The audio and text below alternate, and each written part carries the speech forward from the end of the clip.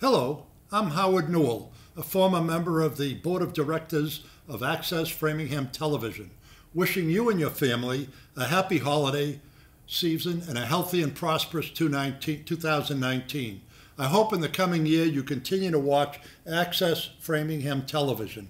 Look at this beautiful snow. Soon we'll have to shovel it.